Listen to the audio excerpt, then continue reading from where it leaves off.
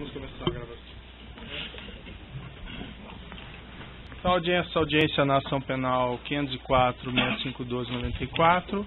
Depoimento do senhor ex-presidente Luiz Inácio Lula Silva. Excelência, presidente. só um requerimento. Certo. É, nós constatamos que na, nas atas